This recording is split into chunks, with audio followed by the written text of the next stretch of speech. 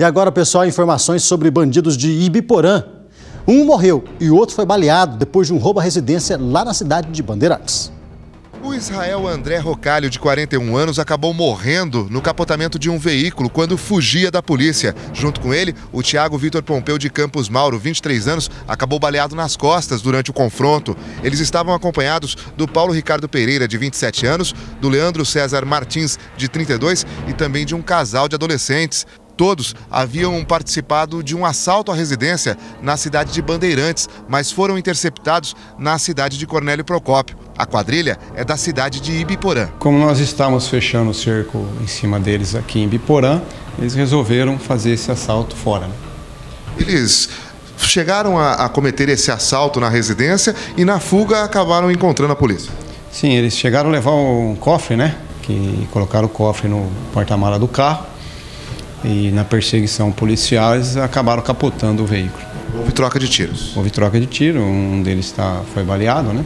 E o outro morreu em decorrência do, do acidente. Esse que foi baleado, inclusive, o tiro atingiu a coluna, qual o risco de nem voltar a andar? Sim, ele está internado em estado grave, né? Se porventura vem a sobreviver, ficará com sequelas. Bom, os outros detidos encaminhados à delegacia, inclusive casal de adolescente, e tudo isso agora corre com a justiça lá da cidade de Bandeirantes. É, foi, essa operação foi feita pela Polícia Civil da região lá, né? Provavelmente de Cornélio.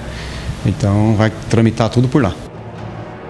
Aí, ó, morreu então o Israel André Roncalho, de 41 anos. Foi baleado também o Tiago Vitor Pompeu de Campos Moura, 26 anos. Com detalhe, o Israel não morreu baleado. O Israel morreu no capotamento. Então, só para deixar bem claro aqui, tá? O Israel André Roncário, 41 anos, ele morreu na hora, de capot... na hora que capotou o carro.